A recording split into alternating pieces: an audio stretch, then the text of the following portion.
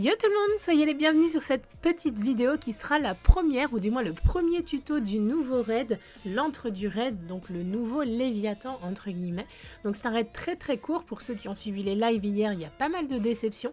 Il est assez facile à maîtriser une fois que vous avez compris la mécanique, mais il fallait euh, voilà, il fallait la trouver et il y avait juste des petites logiques à trouver. Nous on n'a pas fini le boss final, mais je vais quand même vous montrer les premières étapes de ce raid et je pense qu'on va terminer le boss aujourd'hui une fois que une fois qu'on sera disponible.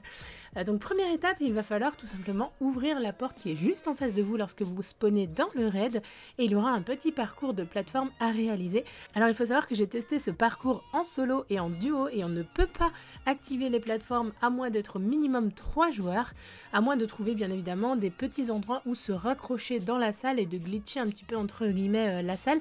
Mais voilà, les plateformes ne s'activent pas en dessous de 3 joueurs.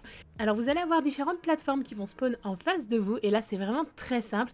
Il faut simplement faire une chenille, c'est-à-dire que le joueur 1 va sauter sur la plateforme 1, puis il va sauter sur la plateforme 2 et à partir du moment où il est sur la plateforme 2, immédiatement le joueur 2 va lui emboîter le pas et vous allez vous suivre et ainsi de suite jusqu'à faire passer les 6 joueurs de l'équipe. Alors parfois certaines plateformes peuvent vous sembler très éloignées mais ne vous inquiétez pas, les sauts passent, à condition bien sûr d'être en full agilité sur vos personnages pour les sauts qui sont les plus justes, mais vraiment ne vous inquiétez pas, c'est très très simple, les sauts passent largement et vous allez avoir en tout 3 plateformes à valider avec à chaque fois sur chacune des plateformes des ennemis qui vous attendent, parfois des pions qui vont vous sniper à distance et parfois des légionnaires qui vous attendent une fois arrivés sur place.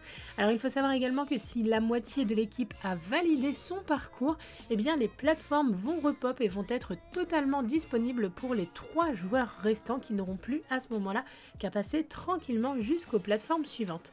Donc vous l'aurez vu, c'est très très simple, sachant qu'il y a des joueurs qui peuvent couper la route aux autres joueurs. L'important bien évidemment, c'est que vous ne soyez pas deux joueurs sur la même plateforme, sinon celle-ci va devenir rouge et va disparaître. Alors il faut savoir également que si les 6 joueurs sont passés les uns après les autres sur une plateforme, celle-ci va rester rouge et va disparaître par la suite. Vous n'avez donc la possibilité que de passer 6 fois maximum sur une plateforme, mais très honnêtement vous n'en aurez pas besoin.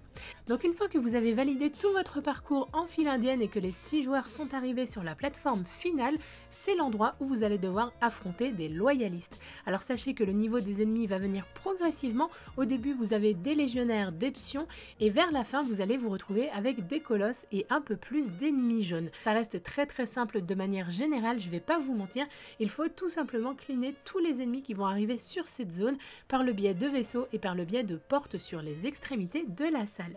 Une fois que tout est clean, un coffre va spawn et vous allez pouvoir passer à l'étape suivante du raid. Vous aurez donc terminé l'ouverture de ce raid, aussi constitue entre guillemets la toute première étape de ce nouveau raid. J'espère que ce petit tuto vous sera utile. Si c'est le cas, comme toujours, n'hésitez pas à commenter, à partager et quant à moi, je vous retrouve très rapidement pour la suite de l'aventure. Ciao tout le monde